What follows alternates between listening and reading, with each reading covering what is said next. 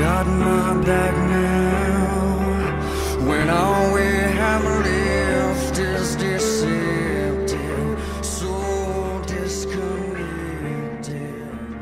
What is the truth?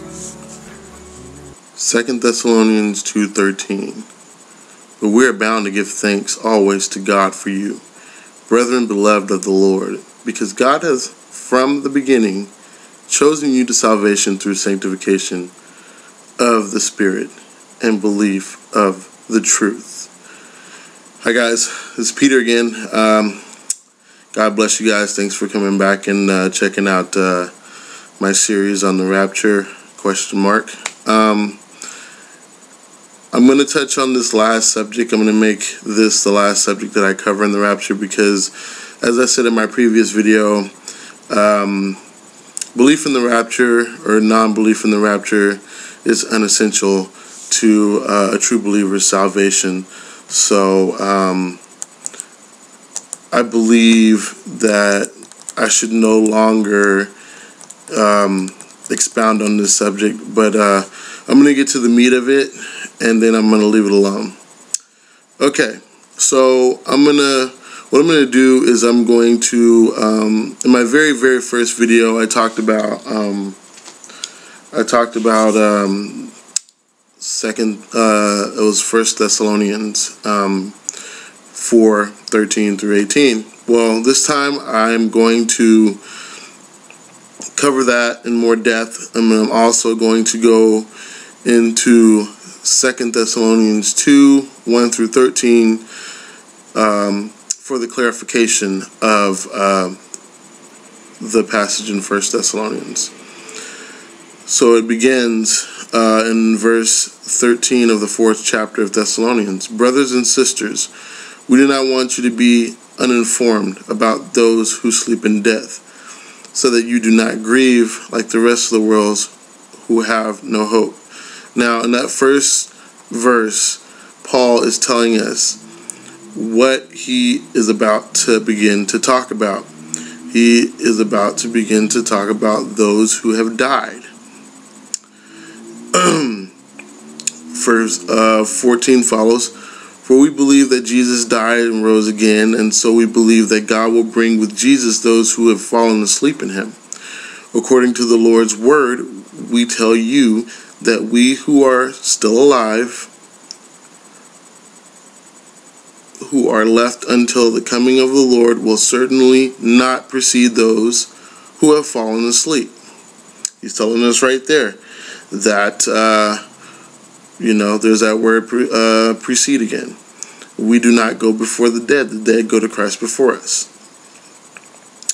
16 For the Lord himself will come down from heaven with a loud command, with the voice of the archangel, and with a trumpet call of God and the dead in Christ will rise first. After that, we who are alive and are left will be caught up together with them in the clouds to meet the Lord in the air. And so we will be with the Lord forever.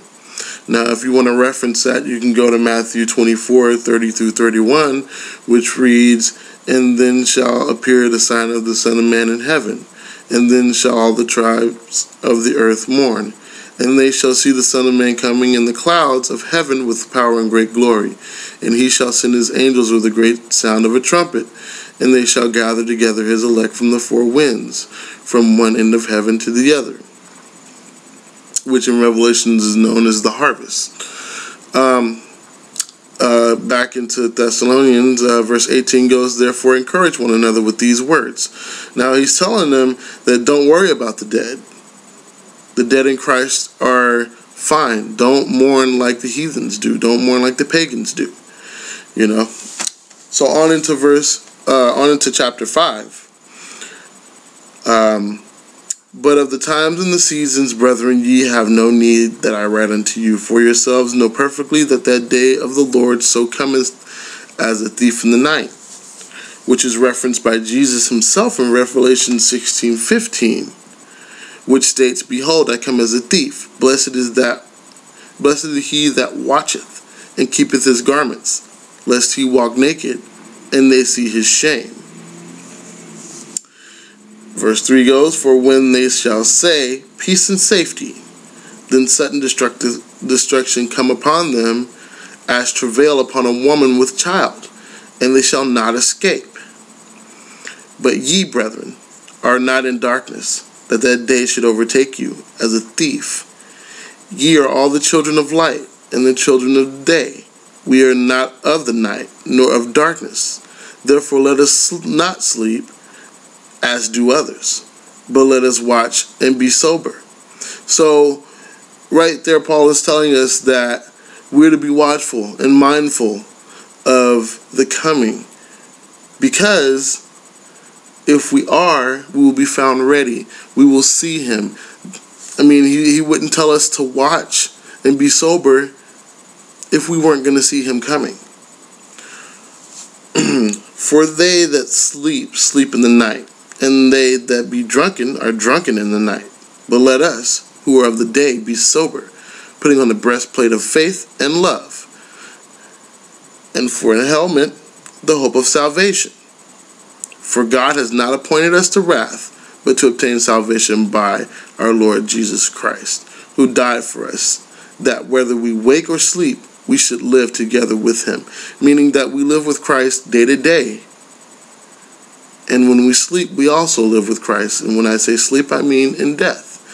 And and this is um, in in the case of uh, wrath, the pre-tribbers try to say that oh well, you know, in, in Thessalonians five nine it says you know God has not appointed us to wrath. Well, He hasn't. Revelation fourteen nine through ten tells us and the third angel followed them, saying with a loud voice, If any man worship the beast and his image, and receive his mark in his forehead or in his hand, the same shall drink of the wine of the wrath of God, which is poured out without mixture into the cup of his indignation, and he shall be tormented with fire and brimstone in the presence of the holy angels, and in the presence of the Lamb. Now, we all know that the mark of the beast and the worship of his images come well into the tribulation. So that's a that's a note right there that Christians will be around at that point and they will be persecuted. Okay. And also in 1512 of Revelation, it says, And I saw another sign in heaven, great and marvelous seven angels having the seven last plagues, for in them is filled up with the wrath of God. And I saw as it were a sea of glass mingled with fire, and them that had gotten the glory over the beast, that is their salvation, and over his image, and over his mark, and over the number of his name, stand on the sea of glass, having their harps of God. Now, that's showing you right there that once God pours out his wrath, his elect, his chosen people, his redeemed, his saved will not be upon the earth.